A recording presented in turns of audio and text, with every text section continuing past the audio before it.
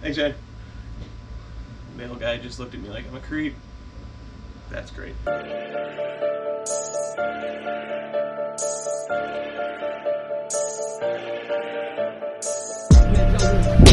on, I'm on, I'm on. No, that's, that's a fish. Oh, we gotta, we gotta go fish.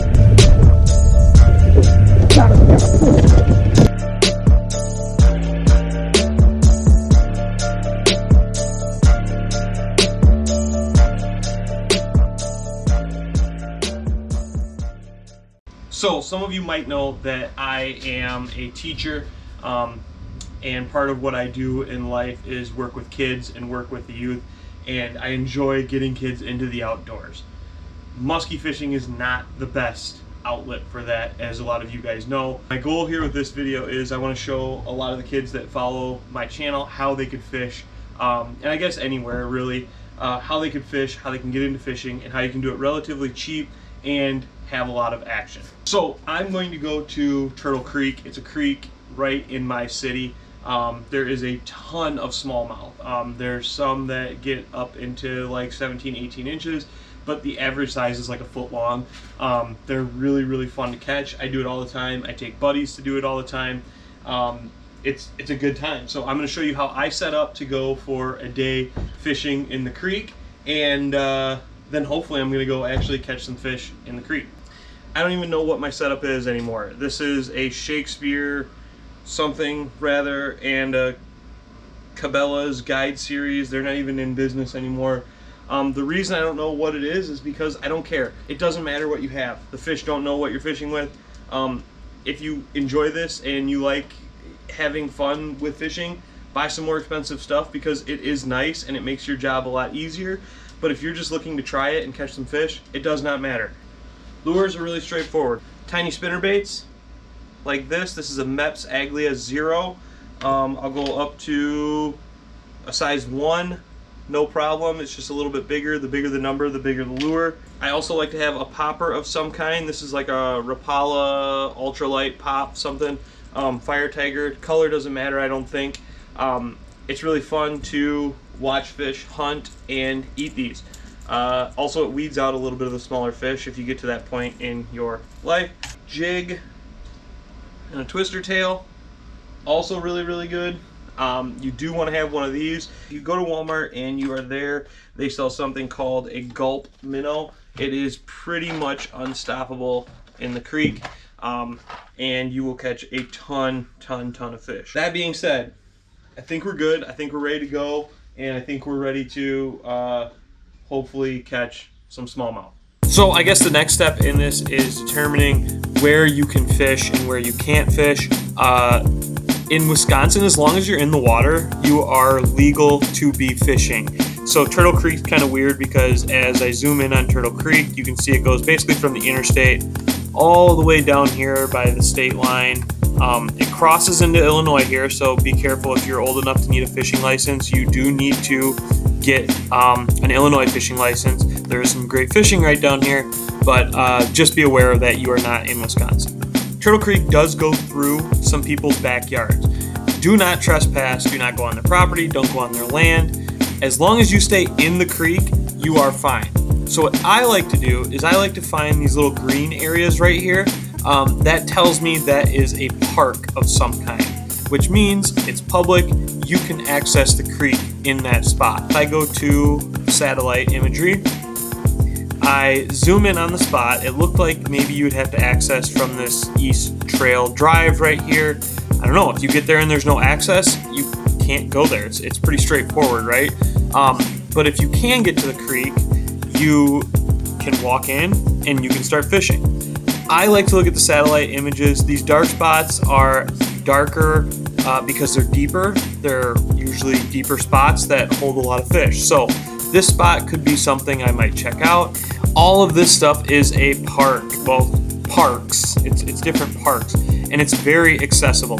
Um, I'm going to take you to the spot that I went to today just to give you a starting point. Um, it's called Totem Mound Park and you can actually park right here in this little circle. It's also an interesting area. There's some Indian mounds uh, back in there you can look at. Um, it's kind of cool. Maybe you don't know those things exist in Beloit, but they are there. Um, it's all pretty accessible. It's shallow, it's not very dangerous. Make sure the creek isn't up and sketchy. Don't put yourself in a bad situation. Um, but if it's where I'm going, it's pretty much knee deep, ankle deep, and you're just kind of walking and casting in some of those deeper spots. Again, all of this is accessible, okay? There's another um, park right up here, Turtle Creek Moccasin Trail you can go to. Uh, if you know where Culver's is and where uh, Milwaukee Road is, Fruzen is right here. There is a park right here, I believe. Yep, there's the parking lot. You can walk right down here to the creek. It loops around. You can go down there to the creek. Uh, there's some trails that go back. You can you can get to these spots with a bike. With uh, make sure you have parents' permission, obviously. Um, they can take you. They can drive you there, and you can easily fish all of these spots. All right, back to the video.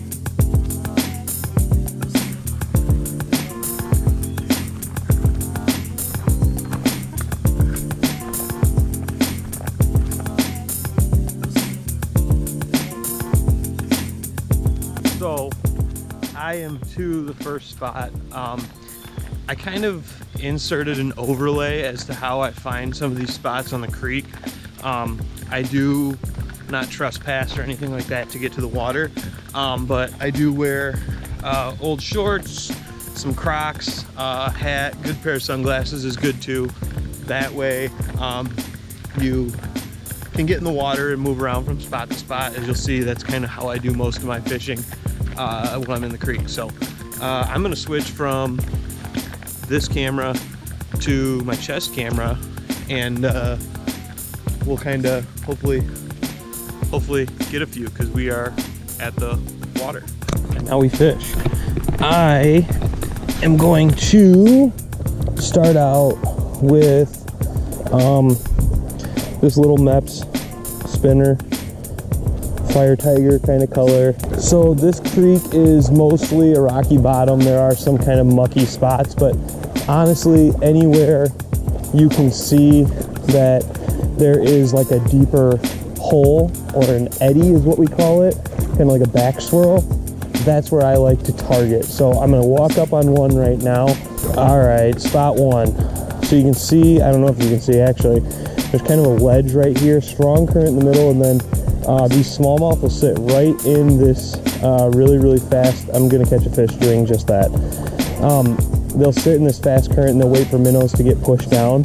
So um, I like to cast down along the line of it, and then you can see back over in that area, there's kind of a, a spinning, um, and they'll sit in there as well. So let's see what we can what we can do here.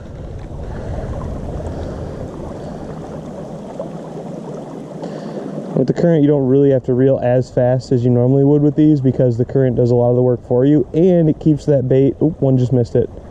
It keeps that bait right in the zone where they want to where they want to eat. So, all right, I had a couple miss it right there, so I'm gonna make that short little cast again and see if I can get one of those to to connect. Oh well, might get some top water to go today too. There we go. Didn't miss that time. Again, nothing big, but it took me five minutes to get here. I'm using maybe, maybe $20 worth of gear, and uh, it's incredibly fun. I can sit here and do this all day. There it went. Again, he's probably like a nine inch fish, which is not crazy and it's not like something insane, but it's fun and it's right here in town. So go ahead, back he goes, um, and we'll keep fishing.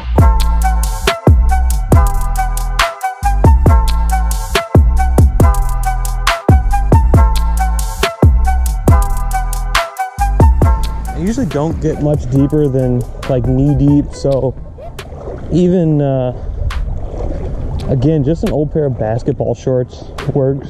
I always like wearing Crocs, but uh, old pair of shoes Flip flops is kind of a eh. Your feet like to slip around and slide in them. But if you have a goofy fishing shirt like I'm wearing, you could wear that. That's always a plus. Make fun of it if you want, but it's got really dope pockets for all the things that I don't carry. Usually a handful right back in that. Uh oh, all right. That's spun pretty bad on me. Woo! Usually brute force is, oh no, my line broke. I'm gonna chalk that up as a loss because, well, that lure basically just disappeared. I don't know if it fell right underneath that tree. I was gonna try and get it, but uh, I think it's under that deep hole right over there. But whatever.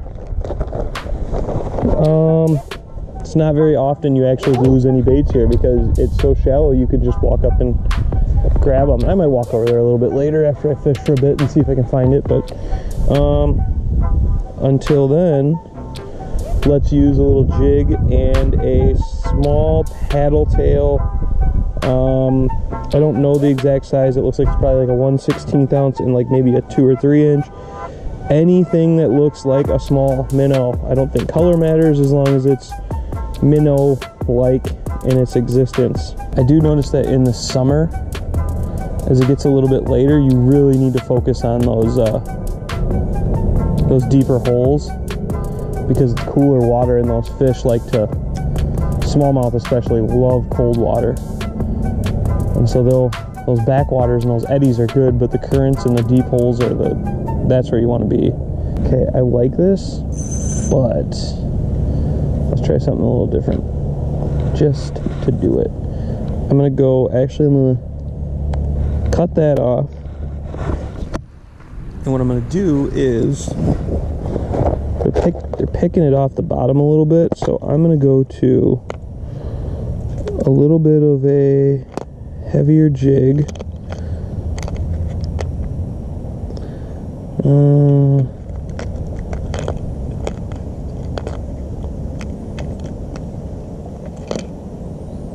that's almost too big. I don't think that's much bigger. I do like this one. Let's just go with this. If you can't catch a fish in a river with this bait, something is wrong with you. I'm just kidding. There's times when it doesn't work, but it almost feels automatic. Okay, that's gonna catch a fish. Awesome. Embarrassing. Don't worry. I mean, I know there's a ton of fish, but there's got to be one that's hungry enough to pick this thing up. I can't talk all this crap about fishing with a white twister tail and then not be able to catch a fish on it. That would be embarrassing. Hmm. Getting grumpy. So now we're basically back to where we got in the water, but I'm gonna go up the creek just a little ways. I have a really good spot up the creek a little ways, but oh, there you. That was a good one, and I didn't realize it was a fish.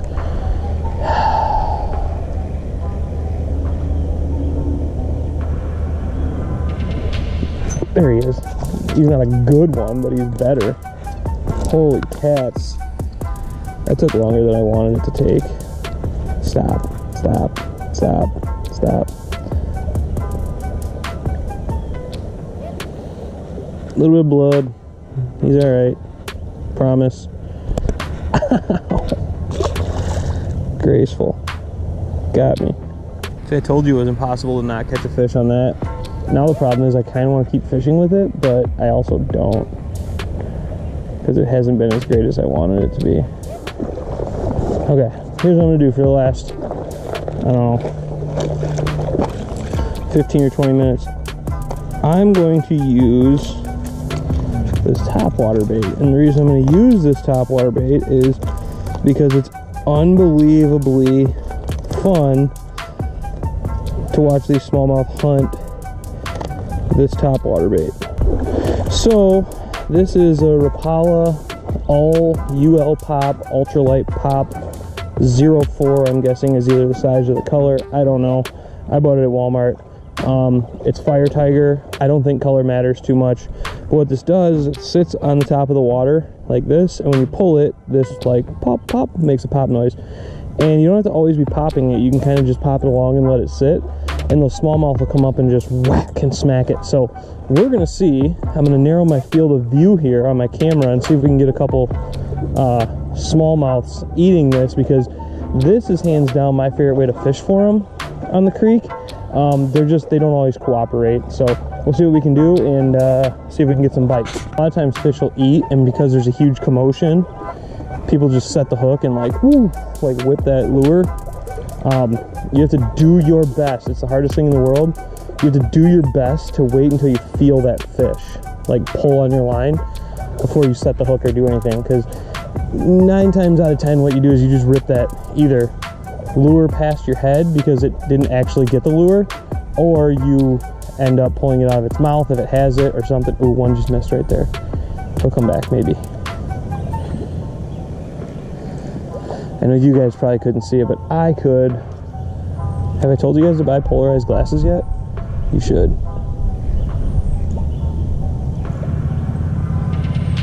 What a turd. Alright. Keep her moving. Alright, that's a good sign. I saw one. He came flying from underneath that. And like he didn't go for it, but then he kept circling it like he was going to. So I'm gonna move up to this next kind of patch of shade and see if we can get one to go.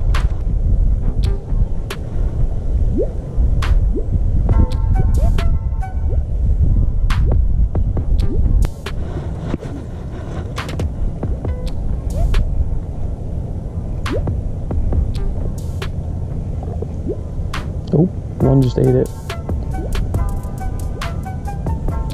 He didn't get hooks, but he ate it. There's one on it right now.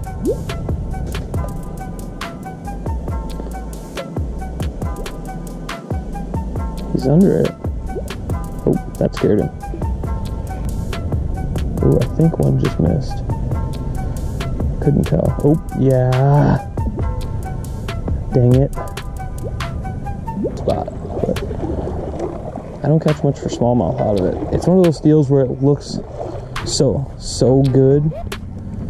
I just missed a fish because I wasn't paying attention. Alright. I need to swap here. We had a lot of action on this little paddle tail. Let's go back to that for a little bit. Ooh.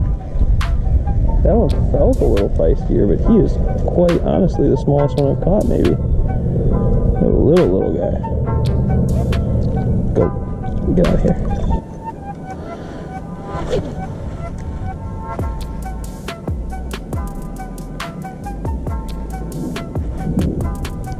Now that is interesting.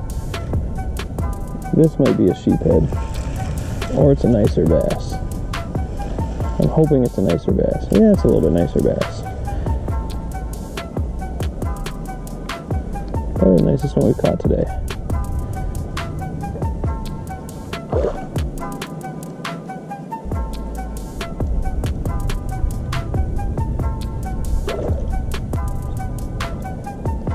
He's not crazy. But this is what I'm kind of looking for usually when I come down here. He's not hooked great.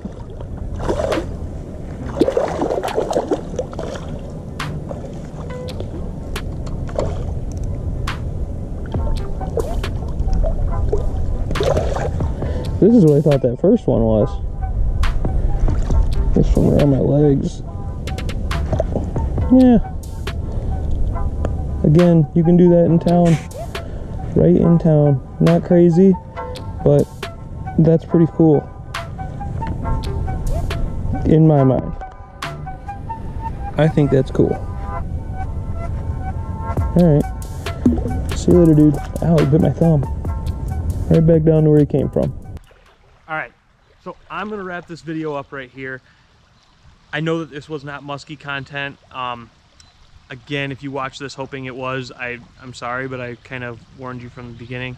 I hope that you did watch this, you picked something up, Um, if you're a student, if you have questions, anything, comment, uh, shoot me a message, talk to me at school, do whatever you want to do. I can help you get set up to come out and do this. Again, I'm right here in Beloit. If you're not one of my students, if you're someone who just stumbled into this, if there's a creek near you, you could probably do something like this as well and get set up pretty easy and pretty cheap. So thank you guys for watching. Um, I will catch you on the next video. If you could, please subscribe. That helps me out a ton. And uh, enjoy your summer.